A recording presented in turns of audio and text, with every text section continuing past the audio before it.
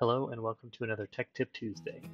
Today we're going to be talking about SOLIDWORKS PDM and how to re-enable automatic local vault refresh.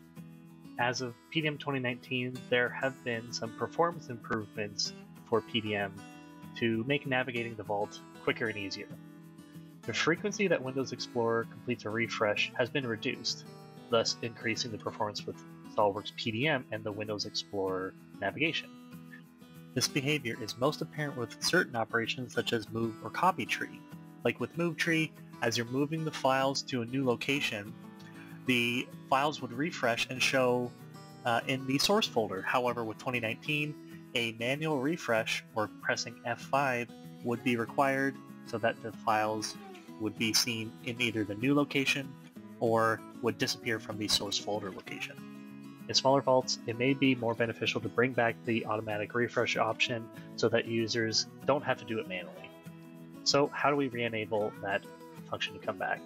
First place we have to go is to the registry editor.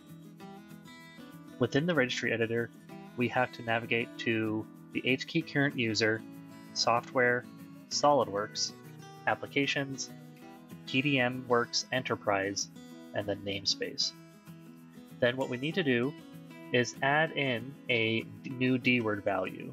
I have it here, but you can simply go to just right click in the white space and add a new dword 32-bit value.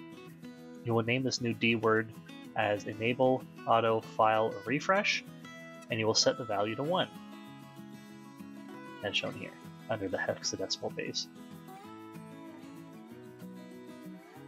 Now, you simply just need to close reg registry editor. You can log out of the PDM Vault, and then you can log back in and see the changes through the Windows Explorer.